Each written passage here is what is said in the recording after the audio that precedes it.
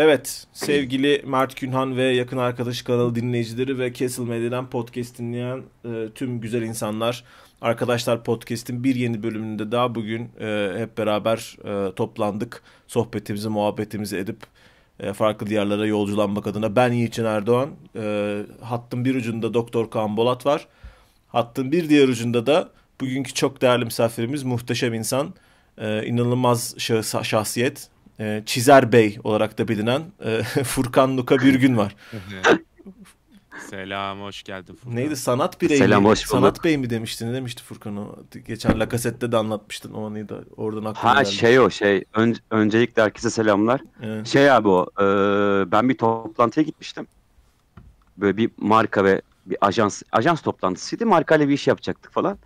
Böyle duvar falan yine graffiti ile alakalı bir şeydi. Kadın beni Ha, e, grafiti markaya ma- markaya tanıtırken Graffiti Bey demişti kadıncağız ya. Yani şu an çok kötü bir şey söylemek istemiyorum da. Bu arada abi toplantıya gittim ben. Toplantı yapacağımız markadaki e, kişi de arabada abi. Büyük ihtimalle adamın toplantıdan haberi yok bu arada. Evet.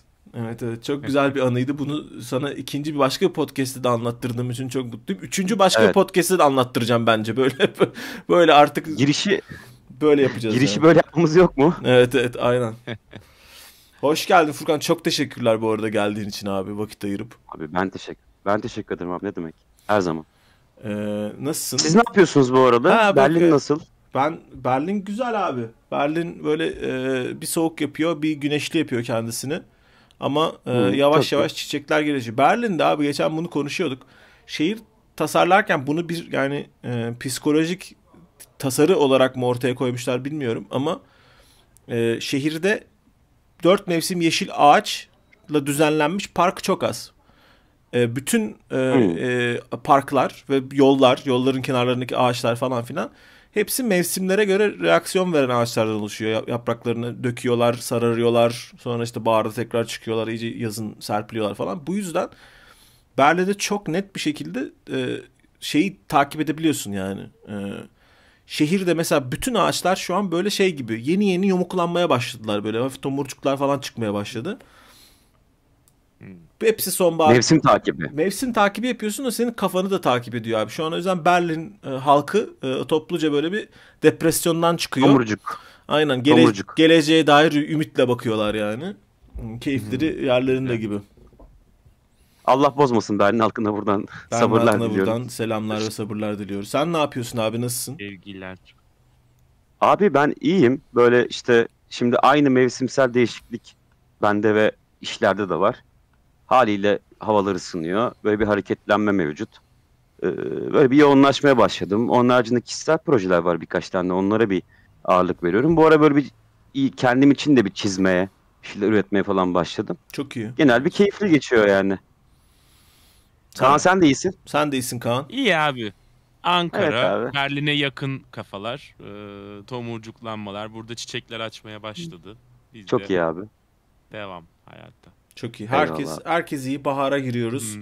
Ee, herkesin kafasında tomurcuklanmalar var. Herkesin kafasında güzel havalar var. Yaz tatili planları yapılmaya başlandı. Ee, güzel bir e, dönemeçteyiz ve bu güzel dönemeçte de güzel bir podcast'imizin güzel bir konuyla beraberiz. Arkadaşlar podcast'imizde. Ee, abi temel sorumuzla ben e, yavaştan e, mevzumuza giriyorum. Ee, en Hadi yakın bakalım. en yakın arkadaşın Furkan var mı? Varsa kim? Böyle bir mevki ya da iki kişinin doldurduğu bir mevki var mı? Abi bende bu işler birazcık şey yani e, çok fazla var aslında. Hı hı. Yani yakın işte bunu zon 1, zon 2, zon 3'te yaşayacaksam o zon 1, zon 2'ler çok kalabalık abi bende. Hı hı. Ee, şöyle ilerlesek daha iyi olabilir. En eskiden böyle step by step Aynen. işte anlatarak işte zaten benim şöyle bir durum da var. Yakın arkadaşlarım da arkadaş şöyle ya da böyle. Yani birkaç çevrem var yakın oldukları Hmm. farklı gruplarda. Onlar da birbirini tanır. Çünkü en nihayetinde gerek çizimden dolayı yakın arkadaşlık, okul, üniversiteden dolayı yakın arkadaşlık, mahalleden arkadaşlık derken böyle aslında o ekip de birbirini böyle tanımasa bile amiyane tabirle ayıkıyor diyelim. Okey. Ya o yüzden şey e, bence şey de güzel olur. Mahalle arkadaşlığı, üniversite arkadaşlığı Onun haricinde de hayat arkadaşlığı diye de gidebiliriz mesela yani. Çok iyi Böyle abi. step by step konuşabiliriz. En eskiyi alalım o zaman abi. En eski arkadaşlığın ne zaman başladı? Abi ben Beyoğlu'nda işte Kurtuluş Kurtuluş'un biraz daha böyle Hacı Hüsrev olan Hmm. tarafında İstanbul'da doğdum. Orada büyümeye başladım. Ondan sonra bir 5 yaşında, 4 yaş, 4,5-5 yaşlarında 3-4 sokak ileriye daha Kurtuluş'un merkezine yakın bir yere taşındık. Orada da bir tane e, bir arkadaş edindim yani. Allah da o arkadaşın cezasını. Yani e, komşumuz Arnavut kökenli. Hmm. E, Ali Beyköy'de Ali Beyköylüler aslında ve sonrasında benimle benzer zamanlarda e, Kurtuluş'a gelmiş bir aile. Onun da çocukları var Kerem. Benim 4 yaşından beri arkadaşım. Nasıl bir Ee, mahalle ortamınız vardı abi? Abi şöyleydi yani tabii ki çok hareketli bir mahalleydi ve arsaların hala olduğu o arsalarda işte futbolun bilmem neyin tasoların taso kültürünün Hmm. başladığı zamanlar ki Looney Tunes'la başladı aslında e, şeyle değil Pokemon'la değil. Hı, Evet. Ee, yani sürekli sokakta olduğumuz, sabahtan akşama kadar oyun oynadığımız, öğlen salçalı peynirli ekmekler yediğimiz bir mahalle. Aslında birçok Türkiye'nin birçok bölgesinde bulunan benzer bir mahalleydi. Ee, kozmopolit bir yerdi benim büyüdüğüm Aynen. yer. Onu diyecektim. Ee, bayağı kozmopolitti. Yani böyle Türkiye'de her kesimden insanın olduğunu, işte her ırktan, her e, şeyden olan, bölgeden olan insanların bir arada yaşadığı bir yerdi. Ama e, yoğunluk işte Roman insanların olduğu, işte tabii ki de böyle e, Rumların olduğu, Ermenilerin olduğu bir mahalleydi. E, çok böyle şeydi, e, komşuluk bir kere şey çok yüksekti. Yani akşam olunca böyle dışarılarda işte teyzeler çay demlerdi, işte börekler, çörekler, cartlar, curtlar, işte camdan cama komşuluklar falan böyle Hmm. gayet hareketli bir yerdi. Bizim de işte Kero'yla da arkadaşlığımız mahallede başladı. Nasıl? e, Ee, normal oyun oynayarak kalabalık bir grubun içindesiniz diye tahmin ediyorum. Bütün mahalle çocukları. Tabii tabii. Tabii tabii böyle aile yapımız da çok şeydi, yakındı. Zaten orada öyle çok farklılıklar olsa da yine yakındın yani. Bayağı böyle biz beraber şeydik. Arkadaşlığımız başladı. Birçok arkadaşımız da vardı orada. Hala da onlarla görüşürüm ama Kero'yla bir özel bir arkadaşlığımız gelişti ki sebeplerinden bir tanesi biz ortaokulda beraber okuduk. Hı hı. Hatta lisede aynı sınıfa düştük lavukla yani. Hani Aa! daha daha ne kadar e, şey olabilir. Hatta lise 1'de bayağı bir şikayetler geldi ikimiz adına böyle hani işte okulun anasını bellediniz tarzında şeyler de yaşadık öyle. ne yapıyordunuz abi? Var mı şöyle bir e, anlatabileceğim Abi, kaldı abi? O da o da hareketli bir çocuktu. Ben de hareketli bir çocuktum. Ee, bir, aslında Kerem biraz daha el bebek gül bebek bir çocuktu yani benden. Çünkü e, annesi babası e, çok yaşlıydı Kerem'in.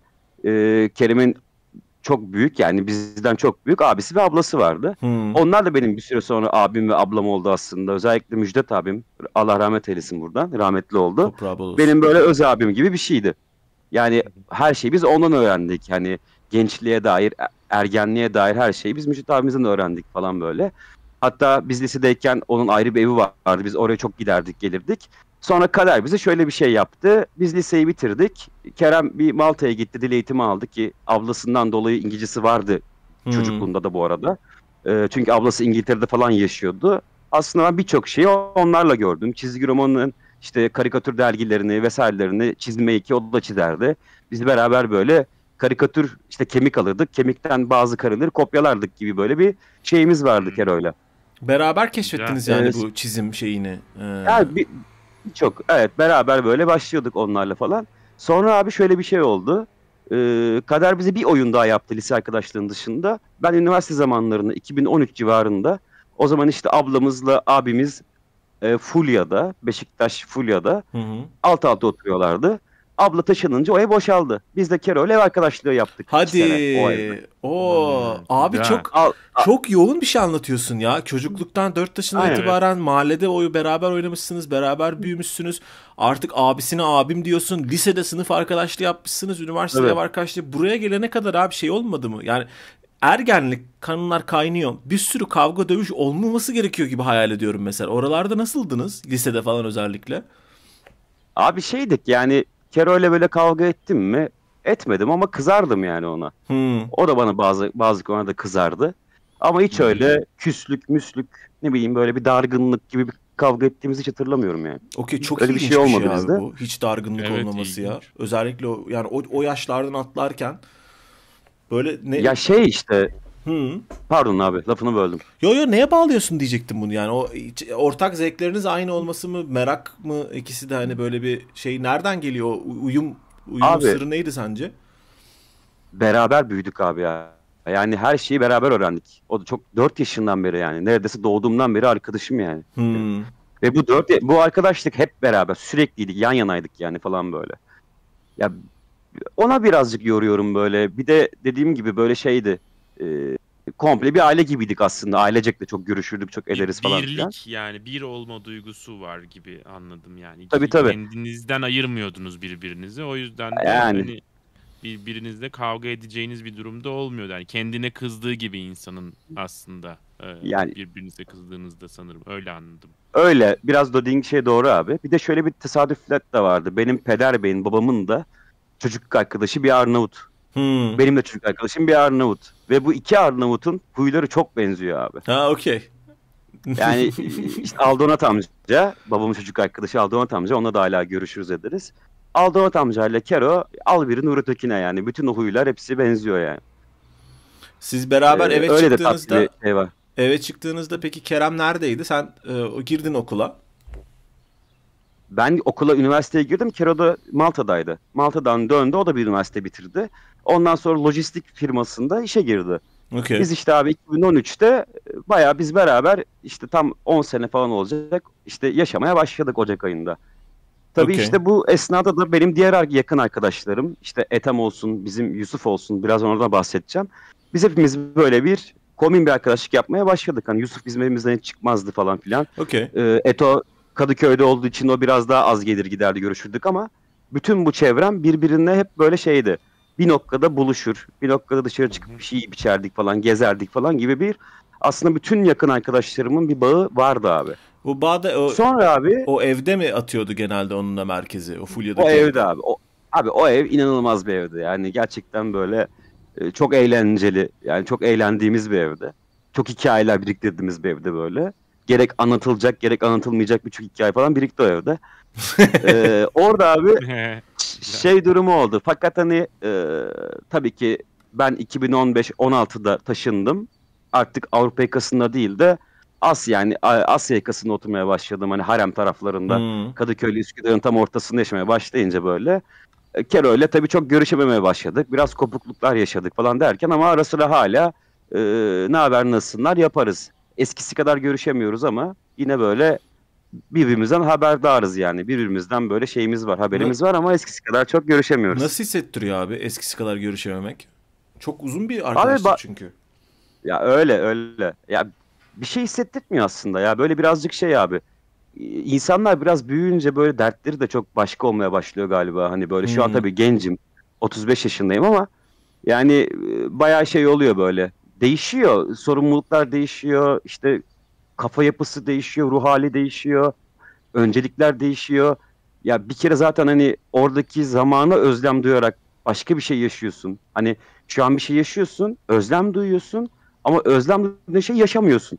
Ah diyorsun 10 sene önceki evin hali neydi bak diyorum ama mesela yaşayacak şeyim varken yaşamıyorsun bunu. Okey. Yani bazı şeyleri hani geçmişe dönüp hatırladığında da tatlı oluyor aslında yani. Biraz buna yoruyorum onu.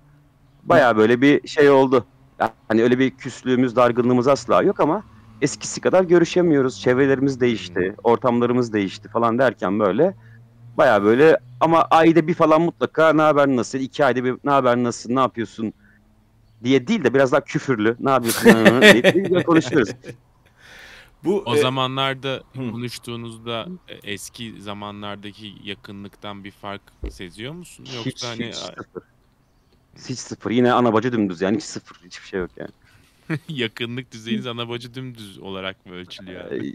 Abi şey yani şu ya hiç perde merde yok öyle. Ben neyse konuştuğumuz konu aynen Hmm. hiç devam yani. Hiç öyle bir muhabbette falan şeyimiz yok.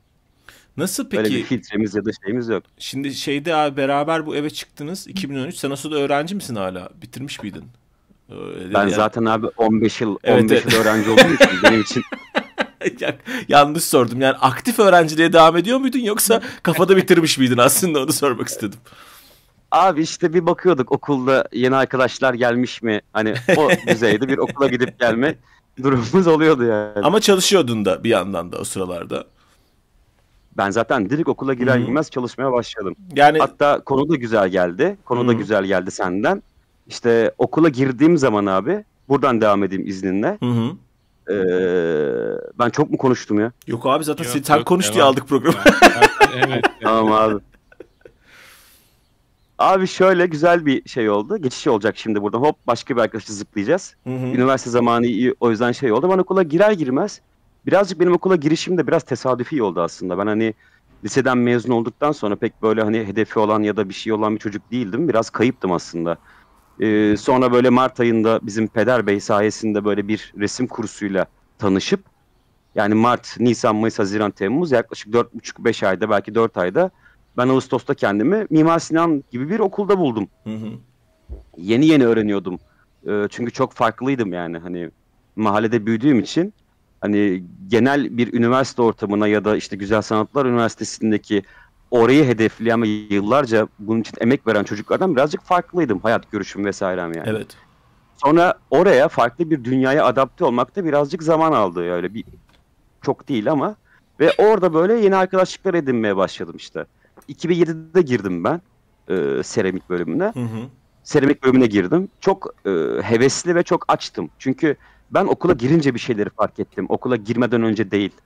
Okula girdikten sonra bir şeyleri fark edince gerçekten çok açtım yani çizim konusunda, bir şey öğrenme konusunda. Ve sürekli birilerine sorular soruyordum. Hı hı. İşte şu nasıl oluyor, bu nasıl oluyor, bu program ne? Mesela Photoshop mu? Hiç görmediğim şeylerdi, bilmediğim şeylerdi. Derken e, benim kursta hazırlandığım, tabii ki orada arkadaşlıklar edindiğimiz dönemlerde Hakan diye bir arkadaşım vardı, Hakan Küçük Yılmaz. Hı hı. Hakan da Çanakkale'yi kazanmıştı.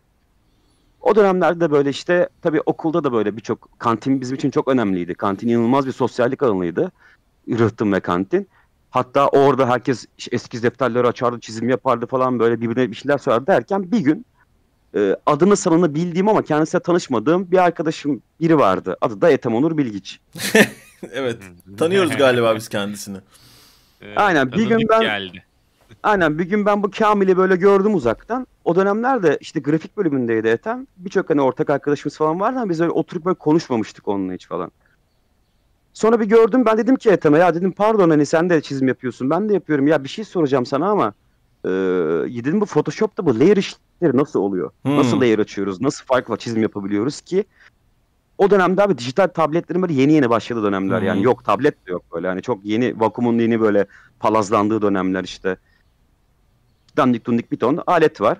Ben de işte zar zor bir para biriktirip bir tablet almıştım böyle Trust marka falan. Şimdi marka verdim ama sonra olmaz herhalde. Yok abi ne olacak ya? Ee, neyse neyse abi o da bana cevap verince böyle bir aramızda bir muhabbet başladı. İşte o dönemde de işte o dön bitti 2007. Biz yine tabii küçük sohbetler ettik ama Hakan da Çanakkale'den bizim grafik bölümüne geçiş yaptı. Okey. Geçiş yapınca da Hakan'la Ethem ev arkadaşı oldular. Senin Tophane. üzerinden tanışıp. Benim yüzümden tanışmadılar abi. Tanışıp okulda onlar Ha okey. grafik bölümünde tanış, tanıştılar ve beraber ev arkadaşlığı yaptılar. Okey. Şimdi ben de Hakan'la yakın olduğum için Ethemlerin eve sürekli gidip gelmeye başladım Tophane'deki eve. Okey. Şimdi bir, bir git, iki git, üç git. E çok da ortak yönümüz var. Çok da böyle iyi anlaşıyoruz derken biz orada bir komün yine tatlı bir ev arkadaşlığı, ya daha doğrusu böyle bir arkadaşlık yapmaya başladık. O evde Selçuk Ören vardı mesela. Hmm. Herkesin belki hani tanıdığı falan çizer olarak. İşte bizim Uğur Ünsoy vardı. Böyle hareketli, çok tatlı ve şey bir evdi orası. Bayağı bir o günden bugüne de Eto'yla da böyle gerek mesleki, gerek böyle hani bayağı böyle e, güzel bir arkadaşlığımız oldu. O Eto'yla da böyle hala devam eden bir yakın arkadaşlık sürecim de var. O, Başlangıcı da böyle oldu mesela. o tophanedeki eve mesela Kerem gidip geliyor muydu? Yok. O O zaman dünyalar... daha hani Kerem Hı. Yok. O zaman daha Kero Malta'da falandı yani. Malta'dan Malta ya böyle gidip geliyordu yani. Çok şey yap şey olmuyordu. Uzun mu kaldı Malta'da Kerem? Vallahi o ben bir eğitim alacağım diye gitti. 3 sene kaldı. Oo! Ben öyle bir yaz Aynen. gitti geldi falan diye zannet dinledim hikayenin Yok, kısmında. yok. Okey. Gitti orada fırın orada gitti lahmacun falan da açtı Kamil yani. Okey. Lahmacun fırını mı açtı abi Malta'da? Yok abi bildiğin lahmacun açtı yani. Lahmacun bildin mi? Fırıncı. çalıştı böyle. Fırında çalıştı. Aynen aynen. Böyle saçma sapan işte. Bir Türkiye maçı vardı abi o zamanlar. Bunlar işte bayağı böyle kafayı mafayı kırmızıya boyatmışlar. Türkiye buraya geliyor diye Malta'ya. Ha evet İşte bayağı böyle aynen serumla alkol içme falan çalışmışlar. Böyle vodka şişesine kola falan bağlamışlar. Böyle hastane falan olmuşlar. Okey abi sen Abi o kafası zaman biraz az çalışıyor. o zaman bu şimdi 2000'lerin o 2007'lerde falan siz üniversite ortamında e, sen e, mesela bu daha Tophane'de işte o çizer Mimar Sinan'da genç çizerler gibi bir ortamınız var. Sen mesela Kurtuluş'taki mahalle ortamına o sırada nasılsın? Orada gidip geliyor musun? Orada görüştüğün arkadaşların var mı hala? Tabii ben o zamanlar yine mahallede yaşıyorum. Semtte Hmm. yaşıyorum yani. Kurtuluş'tayım falan. Ama oradaki arkadaş arkadaşlarımla okuldaki işte atıyorum çeşitli illerden gelmiş, Anadolu'dan gelmiş, Hı hı. ne bileyim işte babası, annesi, üniversite mezunu, mimar olan, sanatçı olan insanların çocukları da orada mesela. Onlar benim için bambaşka şeyler. Ee, Kulvarlar ve tanımadığım hayatlar. Ya o kadar şöyle söyleyeyim ben ilk defa neredeyse annesiyle babası ayrı olan bir arkadaşım benim üniversitede oldu mesela. Hmm. Ya tamamıyla bilmediğim bir dünya. Atıyorum şöyle bir şey yaşamıştım. Ee, okuldaki ilk haftamda herhalde kantinden çay alıyordum. Şimdi biz hep bir şeyleri paylaşarak, bir şeyleri bölerek yaşadığımız için çocuklarla mahallede. Arkamdaki yeni tanıştığım çocuklara ben çay aldım. Üç tane çay aldım. Hı hı. Bir tanesinden şöyle bir yorum aldım abi. Ben kendi çayımı kendim alabilecek şeye sahibim dedi bana. Okey. Oo. Allah Allah dedim. Oğlum dedim. Dedim şimdi bana yokuş rampa yapma. Ben de biliyorum senin paranın olduğunu da. Ulan hıyar işte geldik aldık üç tane yarın da sana içelim yani. Bunun lafını bana niye yapıyorsun yani gibi bir niye bana rüzgar yapıyorsun gibi bir şey yok. Çok şaşırmıştım mesela. Yani hiç tanımadığım profilde insanlar, çocuklar, gençler vardı. Bu aslında Ethem'le olan da- ilişkinde de geçerli abi. Çünkü e, aslında ters yani düşünüyorum. Ethem de çünkü Konyalı, Ereğlili. Ondan çık onun e, sen şey, İstanbul çok İstanbul bir yerden. İstanbul'un çok böyle Tabii tabii. e, son kalan son kale mahalle kültürünün yaşandığı yerlerinden birinde büyümüşsün. Ethem'le de birbirinizin arka planlarınız çok farklı aslında. Ethem bir de İstanbul'a da yabancı. İstanbul'a ilk defa Yabancı. taşınıyor. Orada mesela. Evet, evet. Ama işte orada Eto'yla yakınlık şöyle başlıyor aslında abi. Hayat belki de beklentileri, işte mesleki Hı hı. e, azim, mesleki böyle şeyler, çalışmalar, işte ortak belki de her ne kadar o Konya'da, Kastamonu'da doğup Konya'da büyüdüyse de orada işte okuduğu kitaplar, izlediği filmler, işte sevdiği çizgi roman kahramanları aslında çizime, mesleğe dair çok ortak yönümüz vardı Eto'yla. Okey. Aslında biraz da yakın olmamızın sebebi biz beraber bir kariyere başladık gibi bir durum var. Etem ve çevredeki arkadaşlarımla. Sedat Girgin olsun, işte Selçuk Ören olsun, daha birçok isim var. Bizim aslında ortak olmamızın nedeni çizim abi. Evet. Çok Bizi farklı. çizim birleştirdi. Ve Çok farklı. Ve bu arada e, bu saydığın isimlerin hepsi e, yani hepsi selam olsun tanıyor olmamızın dışında hepsi sen de dahil olmak üzere çok başarılı oldular kariyerlerini ki başarı oranının çok da yüksek olduğu bir sektör değil. Girdiğiniz beraber sektör mesela. Bu sence paylaşımınızın burada bir payı var mı? Yani beraber o daha komünel bir şey o, o evde beraber gidip geliyor olmanızın falan.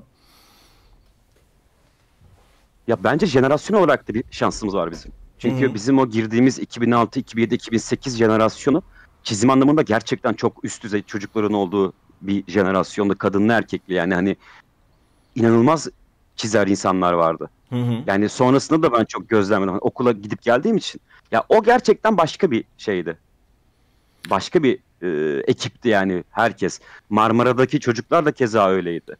Yani o özel bir jenerasyon. Hani şeyde vardır ya futbol menajerde Evet evet. işte Altın altın nesil. sorumluluğun sana bir rapor verir. Aynen. Der ki raporda ulan şanslı pezevenk işte sen bir altın nesil buldun ve bu sene çıkacak Wonder çocuklar Wonderkid olma ihtimali yüksek. Ya bizde de öyle bir şey vardı. Ha şöyle bir şey de var. Bazıları Wonderkid çıktı ama başarılı olamayan arkadaşlarımız da var. Bazı şöyle arkadaşlarımız da var böyle çok gelecek vaat etmez ama o kadar iyi çalıştılar ki inanılmaz yerlere geldiler. Yani çok benzetiyorum bana futbol menajerdaki Hmm. Wonderkid ya da genç oyuncu örneğiyle bu okuldaki çizim kariyer kariyerleri örneklerini çok benzetiyorum yani. Evet ama çok büyük bir fark olarak abi e, futbol takım sporu e, çizerlik değil. Yani mesela bir iş oluyor açılacak. tabii. iş açılınca bir tane çizer tutulacak falan yani. Orada mesela siz Ethem'le e, e, girdiğiniz zaman sektöre yavaş yavaş mesela Nasıl orada hiçbir şey yaşadınız mı? Oğlum hani Ya şöyle bir durum var. hafif bir rekabet bir dirsek.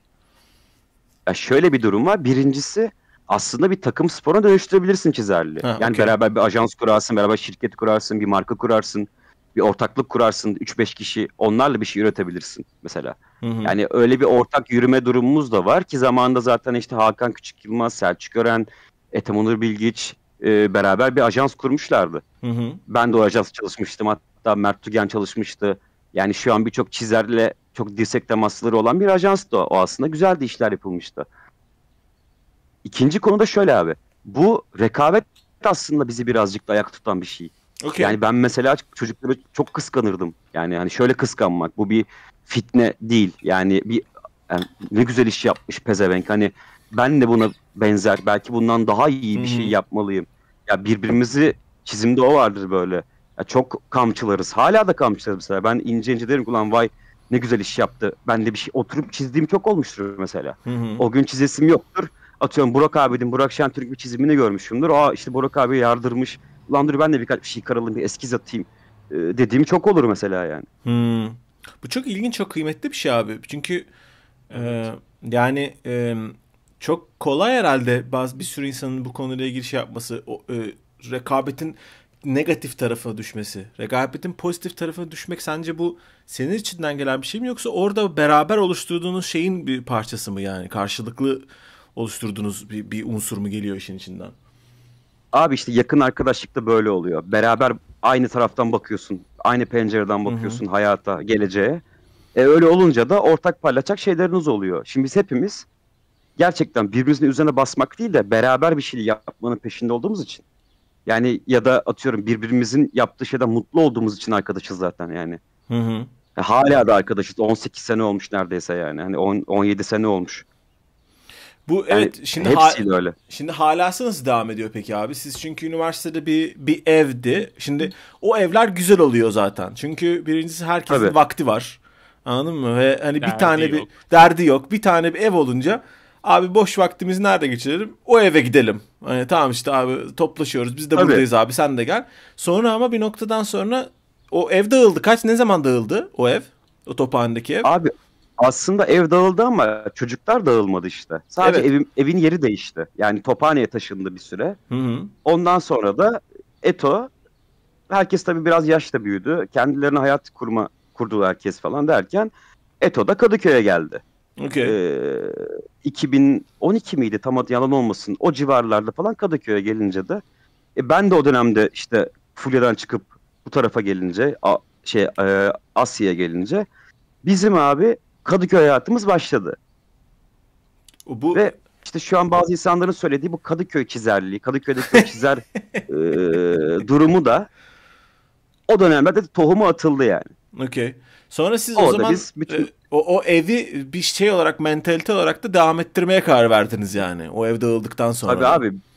Tabii tabii. Ya dedim ya bizim bütün o arkadaş grubu bir çatı. Hala da görüşüyoruz hepsiyle. Hı hı. Yani burada konu Eto ikinci şey olarak ama çevredeki her hepsiyle Hakan'la, Uğur'la, işte Selçuk'la vesaireyle hala hepsiyle bir dirsek temasımız devam ediyor yani. Sürekli beraberiz. Ortak gruplarımız var. WhatsApp grupları, Hı. işte her türlü e, konunun konuşulduğu gerek futbol gerek e, başka şeylerin konuşulduğu gruplarımız devam ediyor. Yakınımız devam ediyor yani. Ne yapıyorsunuz peki Benim şöyle- mesela? Fiili, fiili olarak şu an nasıl yapılıyor? Pardon sözünü böldüm ama. Abi şey işte yani gerek dışarıda yemekler olsun, Hı hı. buluşmalar olsun, bazen küçük tatiller olsun, işte işle, sporla, futbolla alakalı konular olsun. Hiç böyle şeyimiz kopmadı çocuklarla.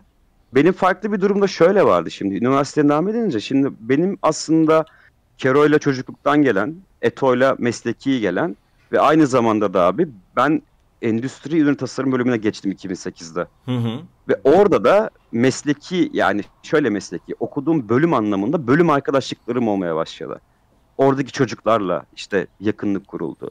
Onlar da mesela Tolga, Serhat, Samet. Hı hı. Bu üçü abi benim de sürekli Ethem harici gittiğim bir ev daha vardı. O evde Beşiktaş'taydı. Okey. Biz okul çıkışlarında işte biz hocalarımızla da çok yakındık bu arada. Ee, onlarla işte çıkışta bir şeyler içmeler, yemeler, sosyalleşmeler, akşam dans etme gitmeler falan gibi şeylerimiz vardı. benim Eto ve diğer çocukların haricinde de işte Tolga, Serhat, Samet'le de hala onlarla da devam eden bir yakın arkadaşlığım devam var. Onlar da çok komik, çok böyle e, tatlı Beşiktaş hikayelerimiz falan var yani. Onlar da böyle konuşsak gerçekten böyle e, çok bölüm çekilecek bir program olacak kadar eğlenceli, keyifli arkadaşlığım var o üç tane arkadaşımla. Tolga, Serhat, Samet'le. Bu peki abi arkadaşlıkları kurarken Hı. öncelikle neye bakıyorsun? Karşındaki insanlara. Bir kişi daha unuttum. Bir de Sedef var abi. Sedef de var. Ee, yani biz bayağı Sedef'le FIFA, PlayStation falan oynadığımız e, topla tabii tabii bayağı böyle çok ciddi bir arkadaşlıklarımız var yani hep beraber çok iyiydi. Hatta şimdi çocukların bir kısmı hatta hepsi yurt dışında yaşıyorlar. Tolga Belçika'da yaşıyor, Serhat Londra'da, Sedef Londra'da yaşıyor. E, Samet hala burada falan derken bayağı aslında e, giderek böyle yurt dışına da açılmış bir arkadaşlıklarım var yani. On, Bu... Açıldılar yani yurt dışına. Ben az önce sorduğum sorunun cevabını sanki az önce verdiğin şeyde aldım abi. Çünkü bütün anlattığın arkadaşlıkların çok ciddi bir bölümünde iki şey e, alıyorum bilmiyorum yanlışsam yanlış de.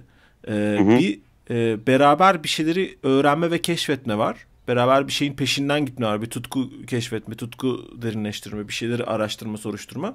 Bir de beraber eğlenme, e, böyle eğlenceli anı biriktirme var abi. Çünkü mesela çok sık... Abi çok. Çok sık mesela o, o vurguyu yaparken yap, yani yapman dikkatimi çekti yani. yani.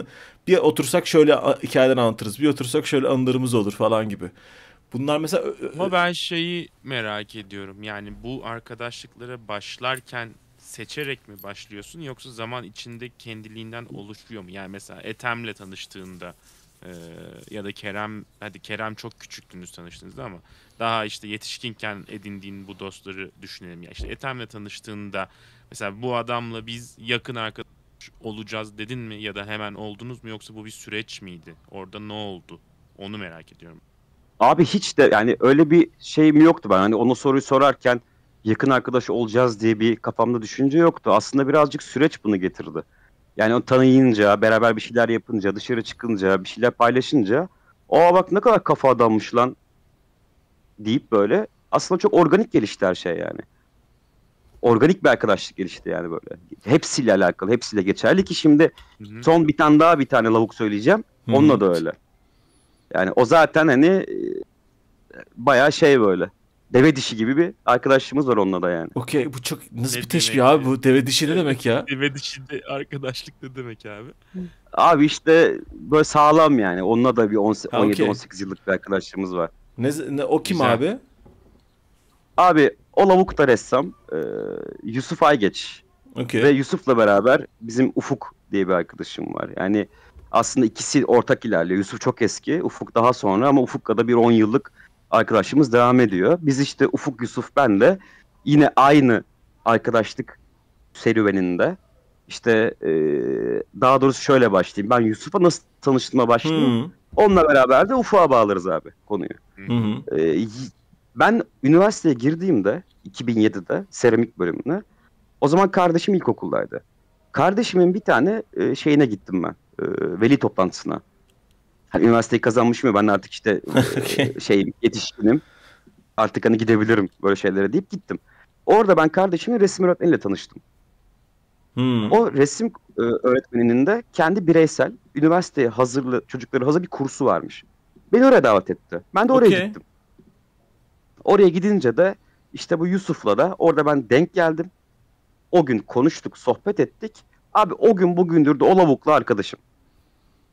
Yani o da Yusuf'ta şöyle bir fark var. O benim gibi mesela. Hı hı. O da sonra Marmara'yı kazandı. Resim öğretmenliği bitirdi.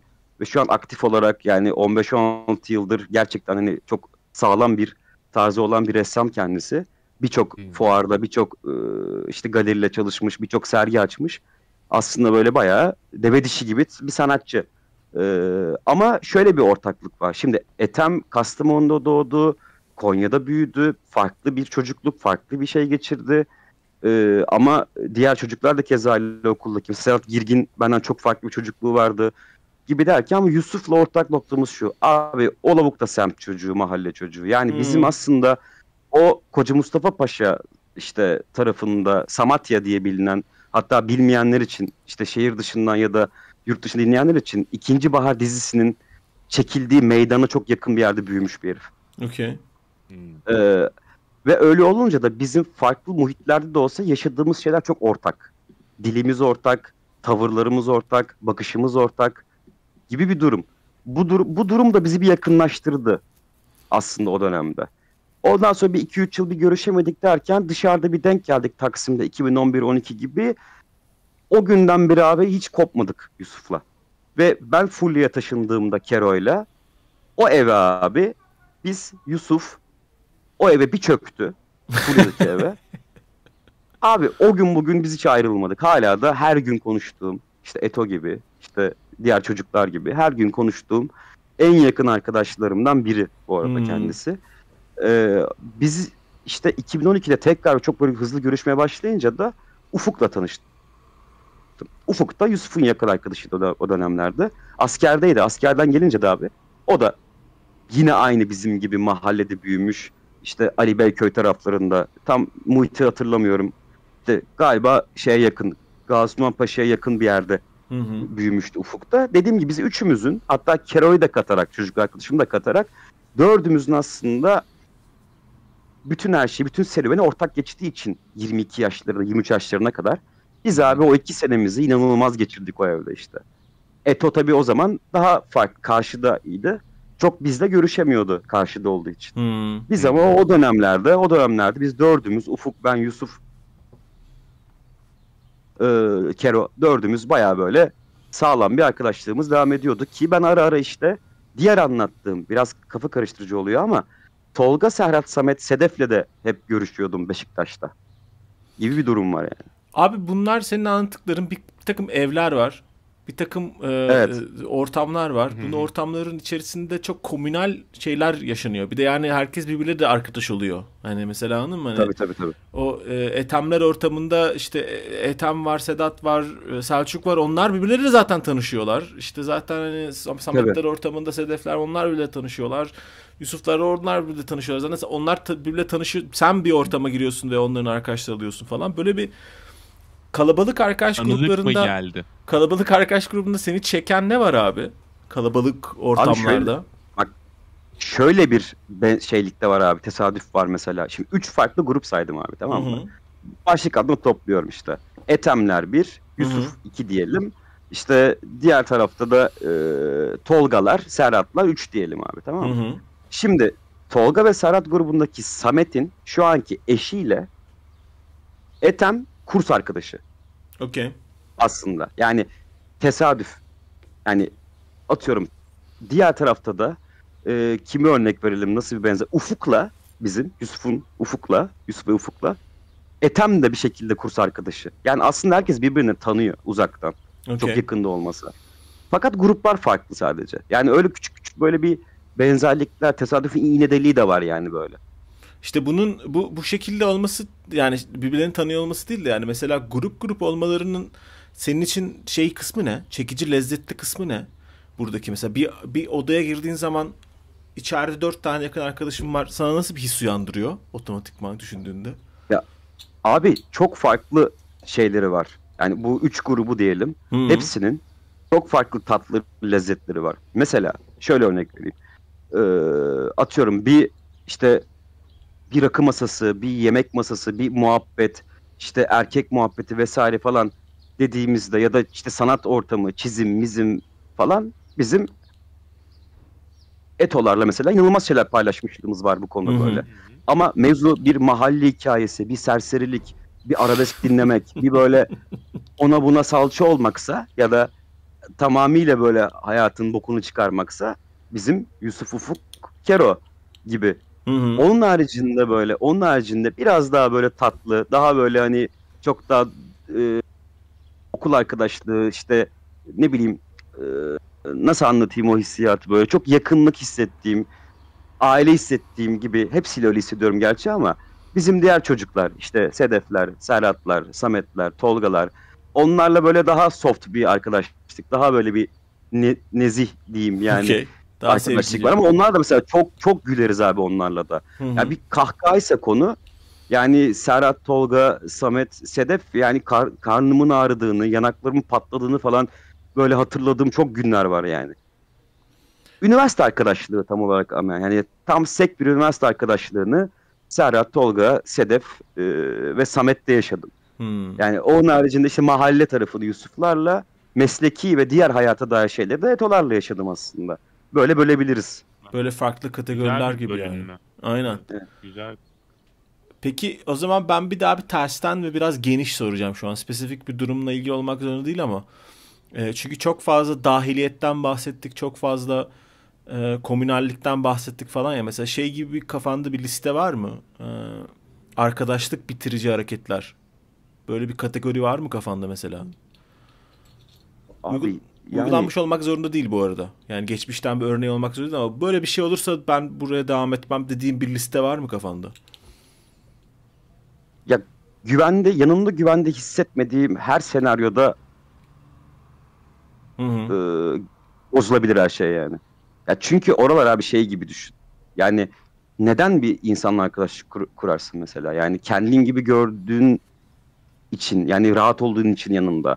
Hı hı. Hani bazen de kendine söyleyemediğin şeyleri arkadaşına söyleyip paylaşıp kendini iyi hissetmek için de arkadaşlık kurabilirsin.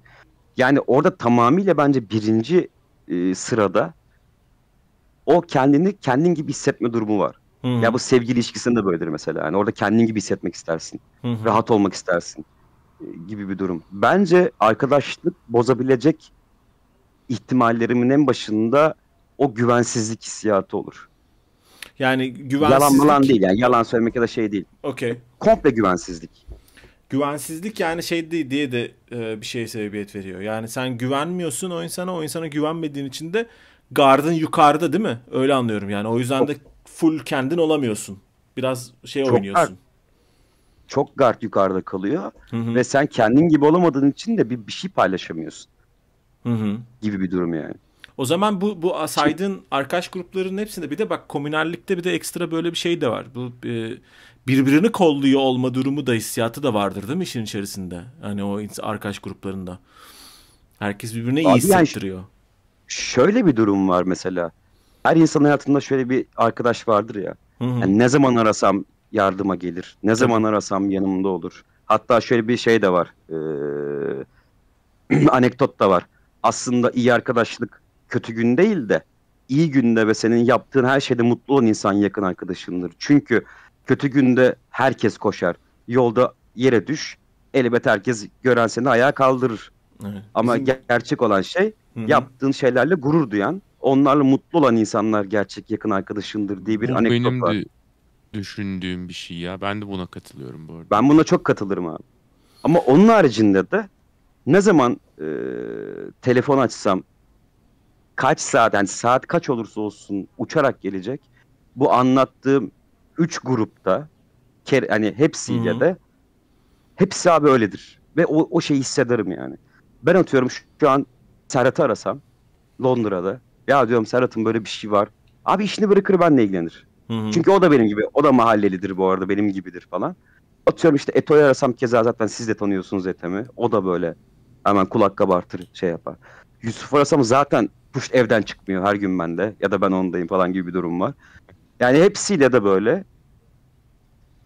çocuklarla konuştuğumda bilirim ki bunlar bir şekilde benim yanımdalar yani. Hı hı. Ve ben şöyle şanslıyım. Normalde insanlar der ki bir kişi var hayatımda iki kişi var. Ben de üç grup var abi hani böyle hissettiğim yani. Peki ilk başladığın zaman abi mesela bu güveni belli bir belli bir oranda güven tanıyarak mı başlıyorsun? Yani güven kredisi açarak mı başlıyorsun arkadaşlıklarını yoksa kazanmaları mı gerekiyor yaptığı hareketlerle veya tavırlarıyla? Abi hiç böyle bir şey düşünmüyorum. Dümdüz akıyor. Yani hiç Okey. akıştayım yani. İlk hiç ba- düşünmüyorum. Hiç düşünmüyorsun. Direkt olarak sen gelen tepkilerle beraber senin içinden gelenlerle beraber sonra duruma bakıyorsun yani nasıl hissettiğini. Evet evet abi. Bir de mesela şöyle bir durum da var abi.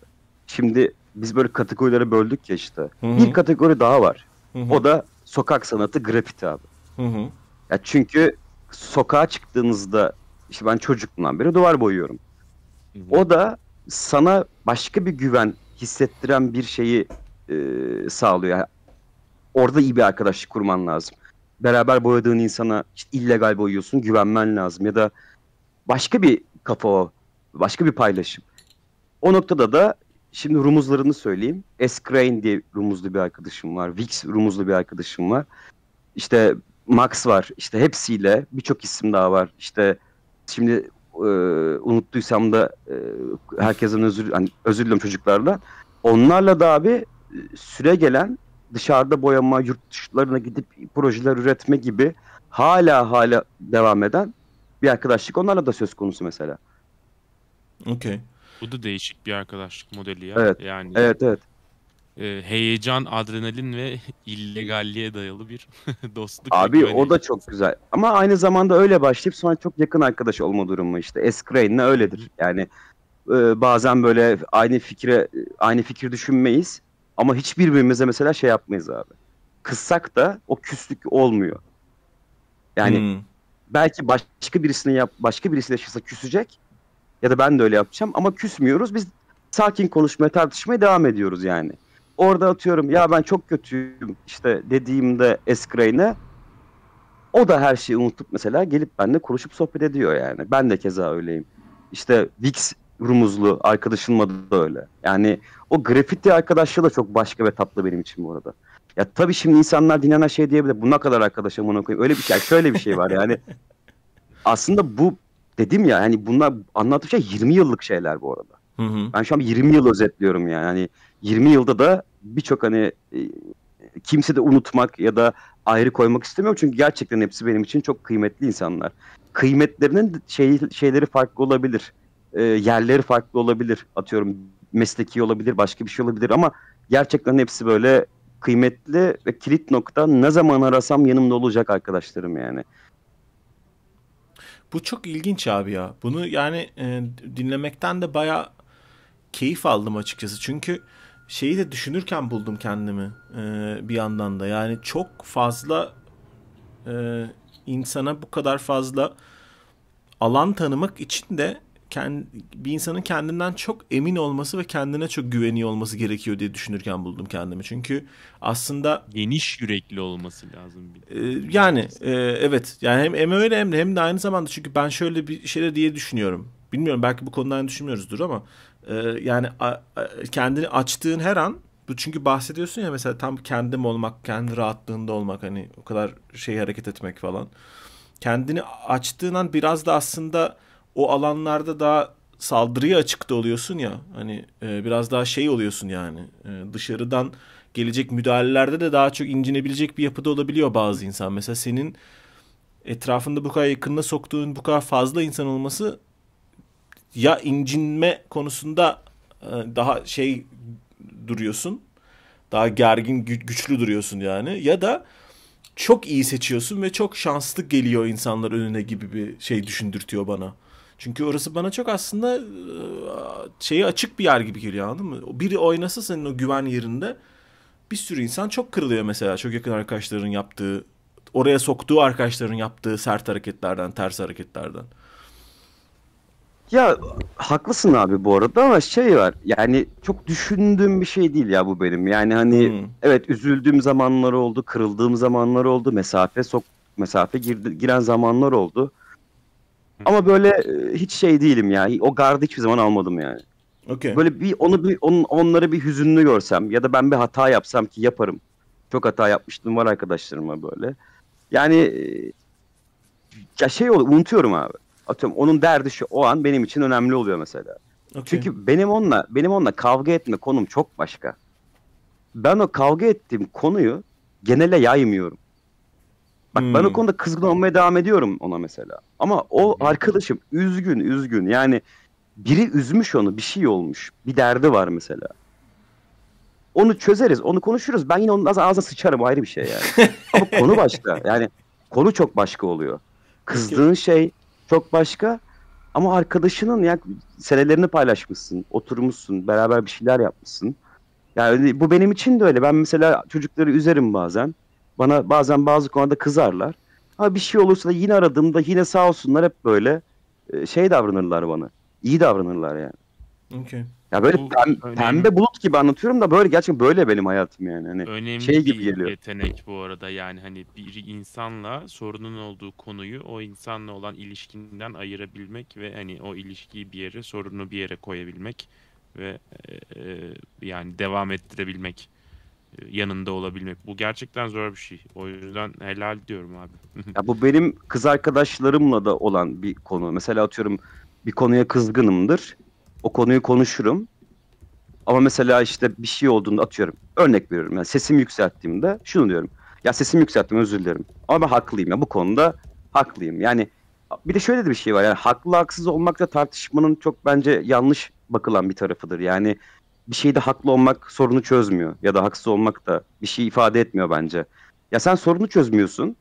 Ee, sadece o oh, haklıyım lan koydum deyip kenara oturuyorsun ve kendi egonu tatmin ettiğin için iyi hissediyorsun. Hmm. Ama sorun devam ediyor.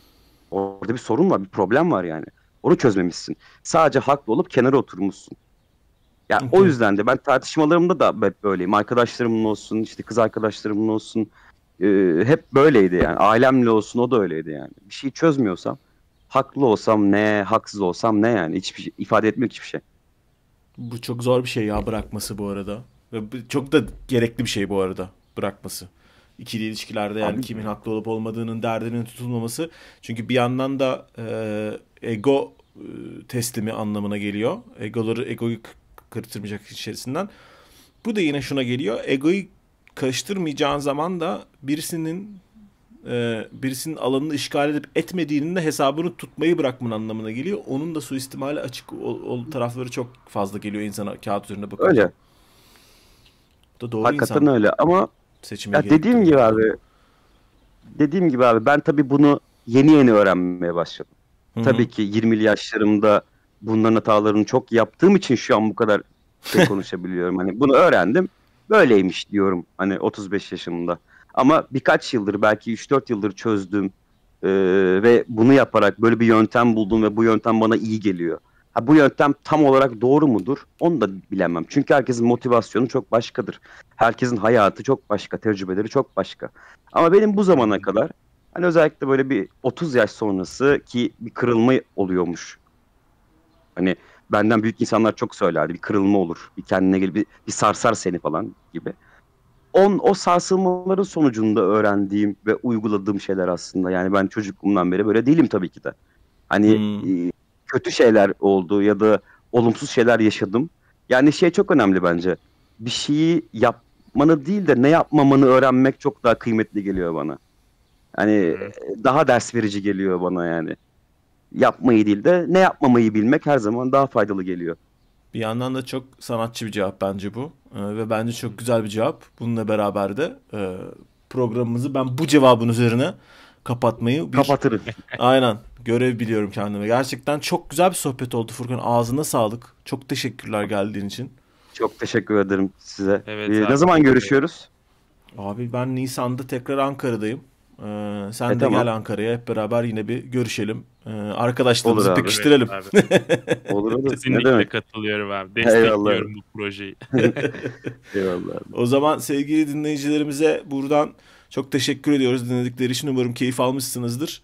Ee, arkadaşlar podcast önümüzdeki hafta e, güzel konuklarıyla devam edecek. Kendinize iyi bakın. Hoşçakalın.